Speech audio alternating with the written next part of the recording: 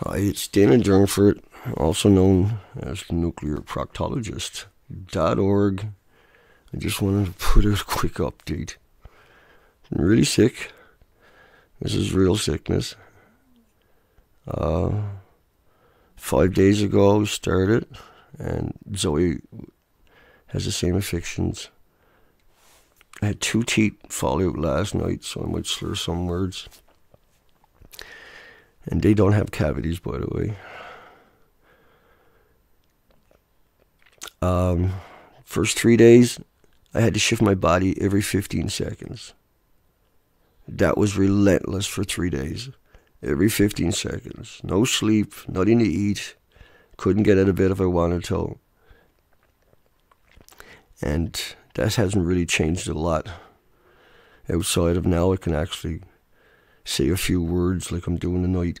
And I took this opportunity to make a short video so everybody can have some context of what was going on here with me.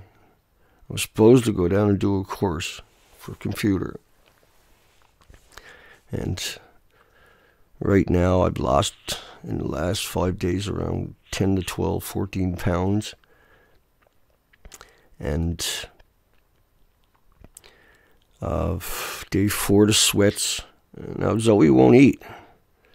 Uh, Zoie, I chop the food up in just microscopic pieces and just take one little piece and put it in her mouth and she'll spit it out. Now, I've had my dog for 15 years. I know my dog. And my dog is not worried about me per se because she's worried about me, but she's not responding because she's worried about me. She's not responding because she's also has the same issue, I think. Exact same issues. I've never seen that in her before. And this has been a hell. This has been hellish. Unbelievable, hellish. Uh, you can imagine, I got four more teeth are ready to fall out. And uh, I took really good care of my teeth. There's no cavities. And this was after coming back from Victoria Law Court, where the judge has made a ruling because of the University of Victoria and Woods Hole involvement that they were scientists and I wasn't. Therefore, bananas and potato chips and walking in sunshine were the same as nuclear weapons. And so that's the motive for the reason I'm in the court. And the context of it was in a one hour video. And they said we can't enter the video, we can only enter an eight second soundbite. And the judge signed off on that. And the last four times I went to court, I told them, they told me repeatedly, because I cannot attain a lawyer after tried 16 times. 16 different lawyers. We've talked to more than that, but 16 out there. Wood said no. And they still didn't supply a lawyer. And they assert now that potato chips and bananas are terrorist weapons.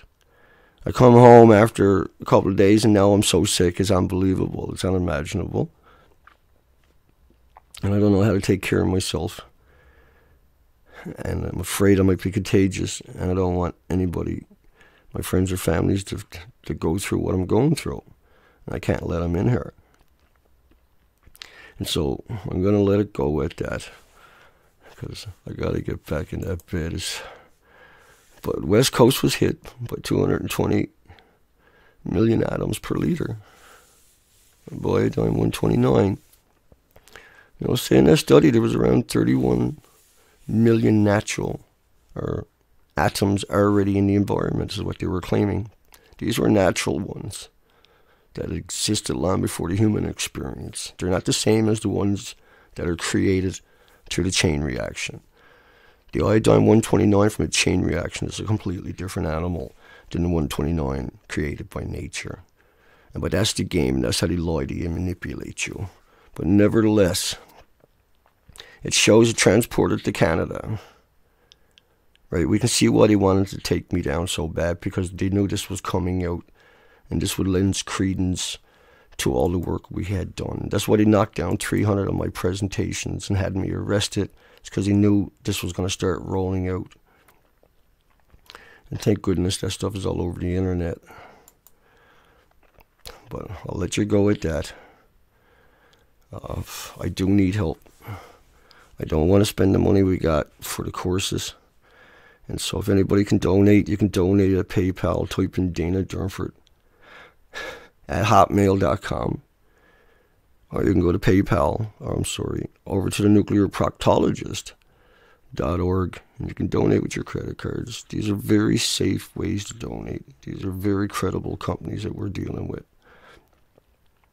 Hugs for everybody. And I don't know when I'll update you again, but if I get a break in the weather, I probably will. Night night, folks. Thank you for your support.